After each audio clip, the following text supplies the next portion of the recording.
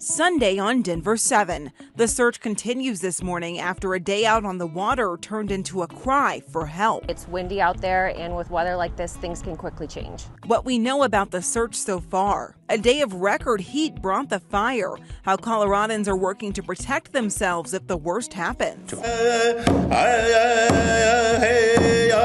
And an already important day got a special surprise for some Indigenous students at Metro State. Details on how higher education is becoming more accessible. Good Mother's Day morning to you, and thanks for watching Denver 7. I'm Jessica Crawford. And I'm Katie LaSalle. Well, we start this Mother's Day morning with breaking news. A man is still missing after tubing on the Cherry Creek Reservoir. Our Denver 7's Christian Lopez is live for us now with what we know so far. Christian.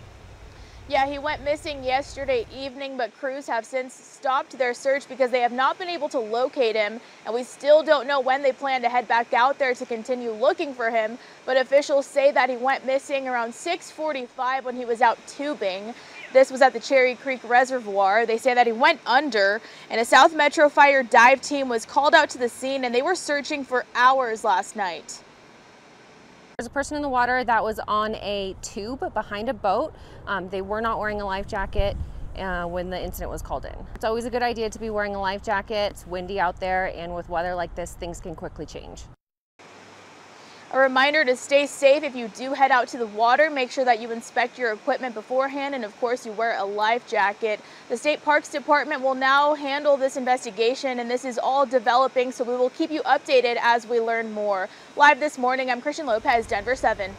Christian, thank you. It was a busy Saturday at multiple reservoirs across the metro. South Metro Fire and Arapahoe Sheriff's Office responded to a water rescue at Chatfield Reservoir. That call came in around 6:15 when the wind picked up, and Poudre Fire Authority responded to reports of a missing paddleboarder and kayaker at Horsetooth Reservoir yesterday. Officials say missing people were found safe just after 7 o'clock last night. Please be careful out there. Now we want to get you caught up on the other news happening across across the metro today. This week marks 10 years since Denver's camping ban was passed. The ban is still being fought in court and an appeals court decision could come within the next few days. Today marks the start of advocates against the ban's week of action. There's going to be a community meals, trash cleanups, and protests throughout the day today. That's starting at 9:30. You can head to Denver's Decade of Doom Facebook page for more information. Well, today is the last day of the Cinco de Mayo Celebrate Culture Festival at Civic Center Park. All weekend, there's been special attractions, musical acts, dancers, mariachis, and a lot more. This will last until 8 o'clock tonight. And if you want more information, you can head to Cinco de Mayo cincodeMayoDenver.com. And here's an important follow-up to a cute story we brought you a few weeks ago. Remember the mother goose outside that ARC thrift store in Littleton? Well, today is the last day you have a chance to name her. Just head to the ARC thrift store Facebook page to make your submission. You could win a 20 $25 gift card to ARC. The winning name is expected to be announced later on today. Yeah, that's fun. Let's take a live look outside right now. We're off to a mostly sunny start here across the Denver metro area. Further to the north, though, and into portions of the high country, we are picking up some moisture this morning. All is dry and calm right now over Denver City Park, but you head into Rocky Mountain National Park. You can see covered in low-lying clouds, snow falling over higher terrain, and a rain-snow mix down uh, lower levels. Temperatures outside right now are around 50 degrees from Sterling Akron, down through Colorado Springs into downtown Denver.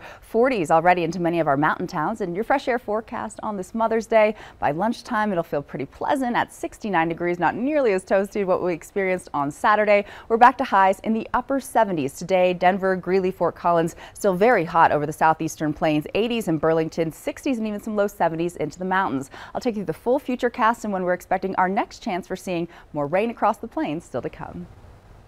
Rain is needed. Saturday, we had at least three wildfires burning across the Colorado. One in Key, one in Keystone behind the resort, another just north of Pueblo, and a third right near Conifer. Luckily, all of the fires are small, and crews were able to contain the fire near Conifer before it grew to an acre. Days like these remind us to be ready for fire danger, and there are steps that you can take to protect your family and your home. There was a wildfire community preparedness day this weekend, and as Denver 7's Patrick Perez shows us, multiple agencies in the metro are making sure that Colorado families are prepared for the worst.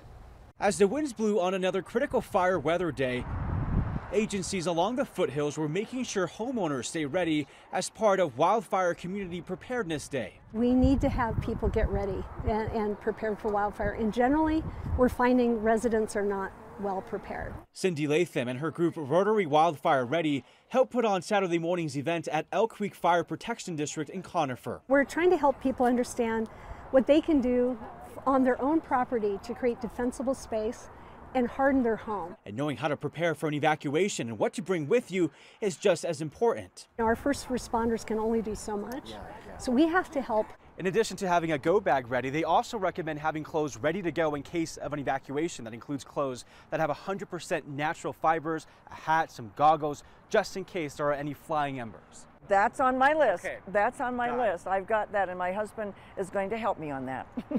he may not know it yet, but he's going to. Belinda Kane Widener lives in Morrison and came out to Conifer to hear from the experts as a rep for her HOA. What she's learned about trees being too close to evacuation routes is something she'll bring back with her. It's going to be a process, but I think that the latest concerns and the emergency uh, wind issue that's going on now will kind of make us move a little bit quicker in a direction. It's not only crucial that homeowners remain prepared, but electric companies too. That's why Core Electric Co-op is using drones to inspect its 5,000 poles to make sure there aren't any hazards. We're looking for, um, you know, broken cross arms, um, uh, trees that are too close to the lines, anything like that that, that is a hazard. Um, we want to be able to identify and correct those issues uh, very, very quickly. At a time when a simple spark could ignite a wildfire, it takes all of us to stay prepared and be on alert. And on those days that are even worse, like red flag warning day today, we're a little more on alert. In Conifer, Patrick Perez, Denver 7. And we're just getting started for you here on Denver 7 this morning. Coming up, Indigenous students at Metro State will soon have easier access to higher education. It's thanks to a new grant, what that means for their community. Plus, trade school enrollment is up. We're taking a closer look at the numbers and the increased interest. And before we go to break, we want to take time to wish some moms a happy Mother's Day. We're starting out with my mom. Thank you for being my biggest supporter. I appreciate every phone call. I look forward to seeing you again soon. Aww. And to my wonderful, amazing, kind mother, thank you so much for all of the love and the care that you give to our family day in and day out. It is so appreciated. We love you so very much. And we'll continue to highlight more of our coworkers' moms throughout this morning's newscast. We'll be right back.